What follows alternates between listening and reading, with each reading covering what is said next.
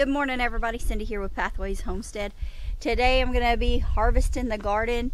Our little gardens are really rolling in the produce right now for as small as they are and they're keeping up with Gary and I and we're able to preserve some stuff. We're going to be harvesting some herbs and we're going to be harvesting beets and see what else we have that's ready to harvest. So hide and watch. Come along with us. Let's go see. I'll start off with harvesting some beets.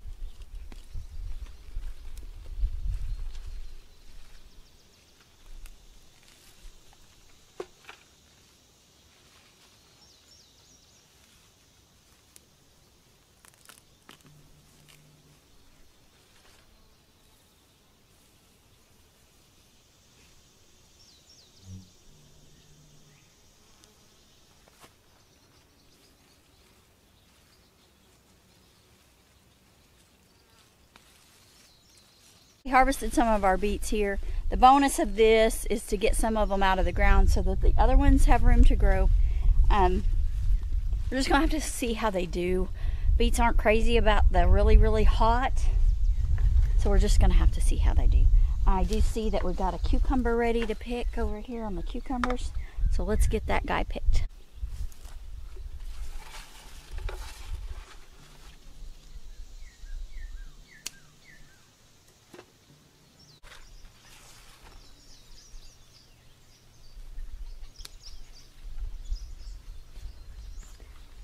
While I was with the cucumbers, I noticed there was a couple little squash. We like to pick our squash small. Um, they just taste a whole lot better. Whoops, drop that guy. They just taste a whole lot better, this a little bit small. The bigger they get, the tougher they can be, especially with this heat. And also the bigger the seeds are.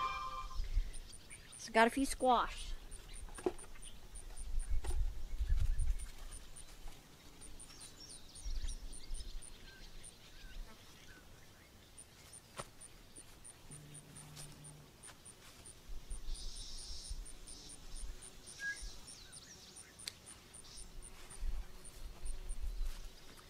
Went ahead and picked this guy. As you can see, he is abnormally shaped. And that is because he did not get pollinated correctly or we didn't get enough water at the right time to him.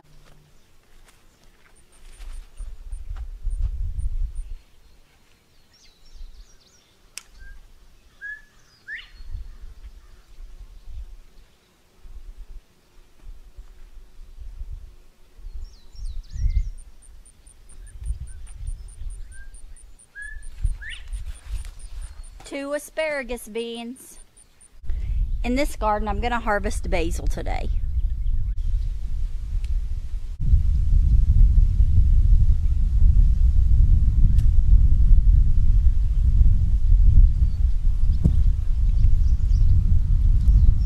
Okay, so we got quite a bit of purple basil. So my goal in harvesting the purple basil so small, so my goal in harvesting the purple basil so small is to prevent it from going to seed. When you get a lot of heat like we're getting now, some of your herbs will bolt or go to seed. That's what bolt means. And so if you keep, keep them pruned off, they will, that will slow that process down. So there is this purple basil here. This is a nice sized one. I did pick some that were a little smaller but basically, when you're harvesting your basil, you're gonna go down to one of these junctures where the leaves come off and you're gonna wanna clip it right in down close. Not in the junction, but just right above the junction. That's where I clip it. And um, this one was a little just below this junction. That doesn't hurt anything either, but you don't want, if, that will promote the bottom, whatever leaves you left on the bottom, like let's pretend this is in the ground. I'm gonna clip this right in here or right in here so that I have these leaves that will keep the the plant alive and keep it producing and they will sprout each one of these will be like a branch on a tree and they'll sprout and bush out and have their own top so that's why I pruned them the way I did. I'm kind of of the school of I would rather they would keep producing than produce seed at this point so that I can be sure to have enough basil preserved for winter. And we'll show preserving in another video. Basil. And if you guys haven't raised this purple basil, it is nice, so nice. Hopefully the wind isn't too bad this morning, but um, this purple basil came from Baker Creek and it is really nice. I did start it later than usual. It's usually right at, I usually seed it right after our last frost. I was a little behind in this garden and, but it does really well. I really like seeding basil between either my pepper plants or my tomato plants or both. It really does well and really has benefits for both plants. It's a great companion for, for tomatoes and peppers.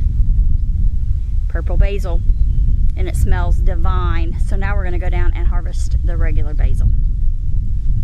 Oh, and purple basil, you use just like you would Italian basil, sweet basil. You can make pesto out of it. I'm not a huge pesto fan, but um, you can make pesto out of it. I preserve it for cooking. First set of basil plants. I'm a little late and they've already gone to seed. They've already bolted and so there's seed tops there. They've got beautiful purple flowers on them. Right there. But I'm a little late and so they did go to seed. So as you can see, they seed pretty small whenever it's hot like this. So I'm gonna get after it and get them harvested. So I like to come in and snip that off.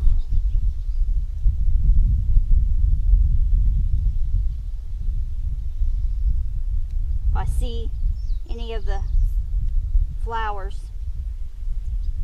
And then you just come in and you just start whacking at this stuff. It is so hardy and prolific. It's not going to hurt it a bit.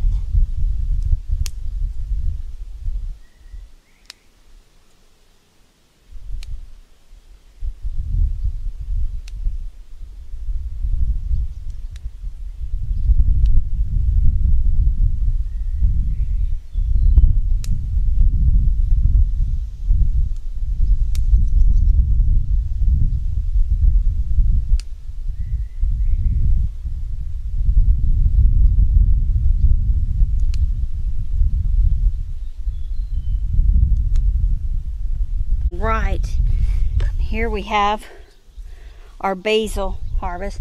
This really smells like cinnamon basil. I'm wondering if I didn't plant cinnamon basil. But oh, it smells amazing. Really, really good. Really, really good.